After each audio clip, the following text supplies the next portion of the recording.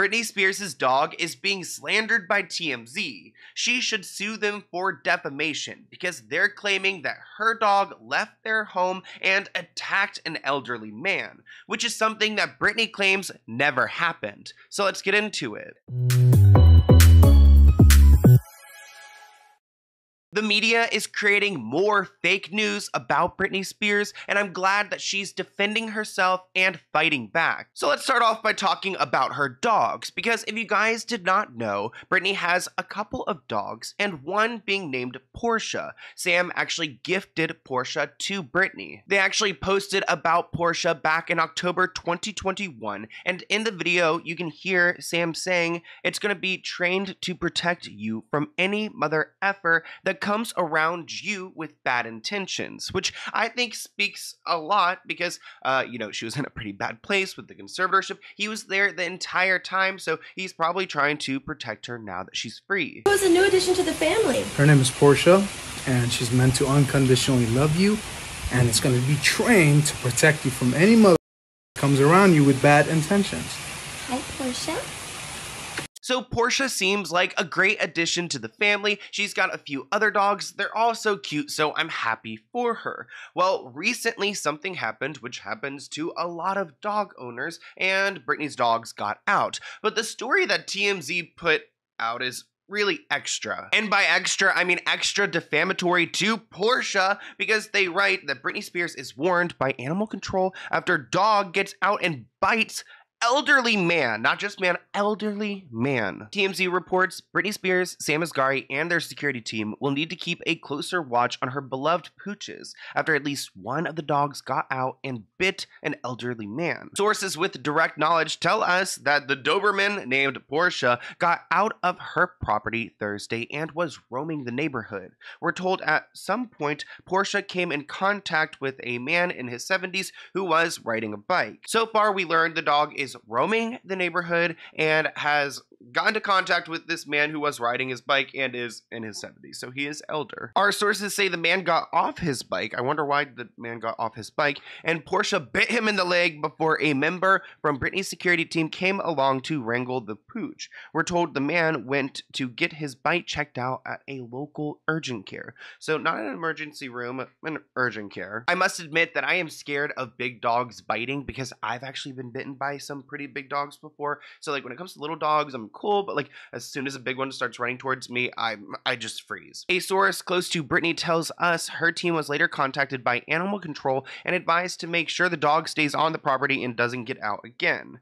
The Britney source tells us the incident was described as more of a nip than a bite. Okay, so then why are you like, why is TMZ again pushing the the most dramatic story they can? They take something that happens to like you know, multiple people every single day in America. Their dog gets out. Oh, it has a little nip. You know, he went to urgent care. So, I mean, I guess it was something, but it was a nip, not a bite. And TMZ takes this simple moment that happens in like every neighborhood and makes an entire article about it. And that's why Britney is so frustrated. She writes, The constant lies from the media and TMZ has felt like borderline harassment. I wonder if she could sue them for harassment, because it kind of seems like it is. It's extremely disturbing due to the fact of how incredibly important it is at this time in my life to be supported and respected. Also, the way the news has always spread lies about me is incredibly heartbreaking. I meditate over hope and excitement for my future. I have transformed my whole life with the elimination of my conservatorship, and I deserve respect. It's almost embarrassing commenting on this because of how outrageous it, what's being said is. It's my right to protect myself from the cruelty of the outside world. I believe Britney wrote that, and it's really well written. I mean, you can tell that she's upset. It makes sense. And why are they doing this to her?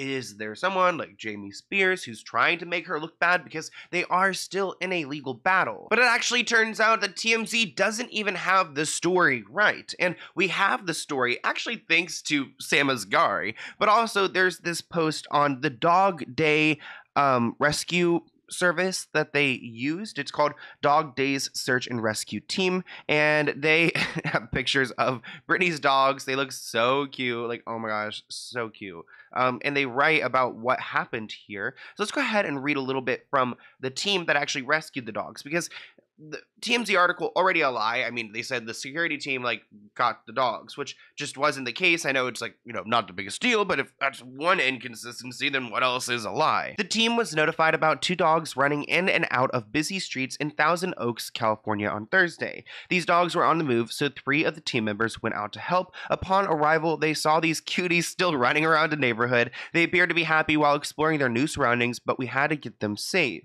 We scanned them, and fortunately, they had a microchip, so they were able to contact the owners. Porsha and Sawyer were secured safely in our rescue mobile while waiting to be returned. They were exhausted from all the running and the adventure they had taken on.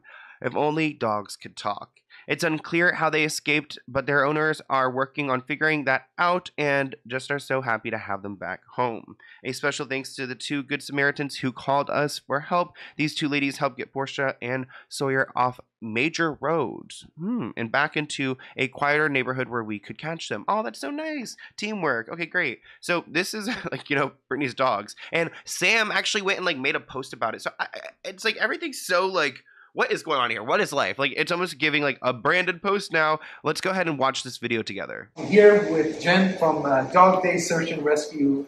They are the best search and rescue in Southern California. Not only because they rescued these two beautiful dogs yesterday when they ran like Forrest Gump out the door, uh, and they found them five miles down the road, but uh, because I truly, uh, with all my heart, respect and trust uh, their search and rescue which by the way is a nonprofit. And we're going to share with you the, the charity and the organization and how you can help out. We want to blow them up, by the way, and, and really help out with it. Because a lot of charities, to my knowledge, are uh, cash cows and they don't take uh, a lot of animals and they don't actually help out, but they do. And we're lucky enough to have found them in such a weird way. Can you explain in like 20 seconds what your, what your organization does? Yeah, our organization um, helps owners get their lost pets back. We also work with abandoned animals. Absolutely, and we also want to thank the sheriff's department for coming out uh, as well and making sure everything was okay and uh, and so on. Uh, correct, because you guys also work with the sheriff's department as well. We do. Uh-huh. Yeah. So I'm sorry. I thought he interrupted her, but that was the way that I edited the clip because I just needed to make it shorter. I was like, hold up, did he just like cut her off? But that was my fault there. I did include that in though because um he mentions the sheriff's office and like working with them, so I just don't know why like they necessarily had to include like the sheriff's office. If you guys want to comment below like why you think that connection would be made, like please do because I don't quite understand. Unless it's because those women like called the police and the police called these people and then these people go and do that work. Maybe that's the connection. Maybe I'm overthinking it here, but here is the caption he included. So that was a nice post from Sam, but I want to remind you guys that Britney posted the day before calling out TMZ and it's kind of screwed up they didn't do anything with that article. But after Sam made his post, they updated everything. So they included everything that we just heard, but there's something I noticed that they mention five to six miles down the road. Well, none of the posts say five to six miles down the road. Maybe they just like did the math and figured out exactly where the dogs were found. I'm not entirely sure how they got that information, but something that like mm, TMZ has exclusively. Some people think that this whole thing is planned and calculated. I'm not entirely sure that it would be. It doesn't make sense for it to be. I just think that they their dogs ran out and then some organization actually helped them and they're like, "You know what? We're like also like celebrities, so if we give you like a shout out, maybe it would help out." I mean, if I had that level and I could like offer something so simple, I would totally do that and make a donation because that's great that they found your dogs for you. As far as the bite, though, I think it's TMZ's opportunity to exploit something that happens every single day, and I'm glad that Britney and Sam are kind of calling them out for it. Speaking of Britney, let's go ahead and react to this video that people keep tagging me in. I've seen it a couple times, but I haven't really like sat down and listened to it, so let's go ahead and do that. Okay, great news is.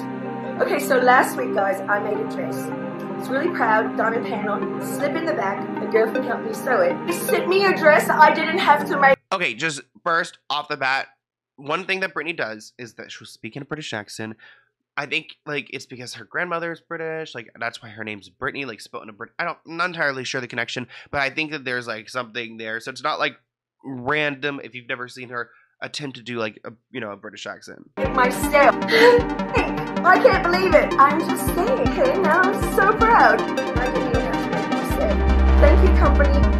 for sending me this dress. And so, guys, I just want you to know if I shut down my Instagram, do not call the cops. So don't ever be a roller coaster. I got this dress as well. Never be a roller coaster. Reactions. I feel like she's trying to be funny here. Maybe it's not landing. Like some parts are obviously like goofy. Um, I was going to say that I thought this video was like you know three years old or something, but she just referenced like turning off her Instagram and the police calling, which is kind of like recent, isn't it? So. I don't know. Now I, I'm like, I mean, my first, I was gonna talk to you guys about how I thought it was like an older video, but I guess it's not. She does have the band still. I think she had a red sweatband on. Maybe that's something she wants to work out with. Initially, when the Free Britney movement was having, like some people thought it was like because of like maybe that's where they were putting the medication into her. Who really, you know, that's what some people thought. I don't know if we ever like had a proof to that, but when she had like the bandages and stuff, it seemed that way. So, hmm. Interesting. I want to hear what you guys think in the comments below. I do want to note that it does seem like Sam is more present. There are tons of pictures of like Britney and Sam out, like at least some I see on some like you know small instagram accounts people aren't really posting these paparazzi pictures or these public like stories that people take of them out but it seems like they're spending time together which is a green flag in my opinion let's go ahead and open this note from shannon it looks like they are from the East Coast and it is zipped up tight. We got a cute little thank you right here. Okay. Dear Sloan, I absolutely love watching your channel. You are so nice and considerate. Some of the topics you speak about I never heard of, so please keep the stories coming. Sloan, the stories you talk about are genuine and heartfelt. Oh, it's so sweet. I just want to say that Lauren wants to play Amy Winehouse in the, I don't know how to say her last name, Lauren Jarcoy. Jerkoy wants to play Amy Winehouse in the upcoming biopic. Sloan, Amy Winehouse is one of your favorite artists, right? Yes, definitely. I love Amy Winehouse. Sloan, I just want to know do you read all of your comments after every video? Just wondering if you come back to read late comments. Happy New Year. Thank you so much. It's so sweet. And then read this last loan. I really want to get to get you something for real. Oh my gosh, you're totally fine in your bad handwriting. You were totally good. Do not worry about it. Actually, that was so sweet. I really appreciate it. I have the worst handwriting, Shannon. So like I I understand. Mine is way worse. I was able to read that, but when it comes to reading comments, I guess I'll just say this in general. I so on the YouTube app on my phone, like the creator app, you get to see like the three last comments every time you refresh. So I see a few comments, but I do not sit down and read my comments. Like for me, it's like a mental health thing and kind of like a like mm, do I want to like say parasocial relation? I don't know if it's that deep, but more of like I just don't I would get too emotionally invested in the comments and like I just don't want to get like that. And I just really enjoy creating my videos, putting them out there, seeing you guys engage. And I do see some of the comments. I mean, you guys see me heart them and reply sometimes, but do I read like every comment in every video there? No. And sometimes in some videos, I get really nervous to post the video. So I won't even like ever read the comments just to like just because I don't want to. Like it just scares me. So, anyways, I hope that answers like some of your questions. If you guys were interested, if I read the comments or why doesn't he reply to the comments, I just don't really look at them. Plus, I'm I am honestly working the hardest I've ever worked in my entire life right now. So I don't like if I can cut back on comments. I will. That's why you'll see, um, you know, our great moderator in the comments, which we love. But anyways, I'll see you guys in a new video soon. Bye, guys.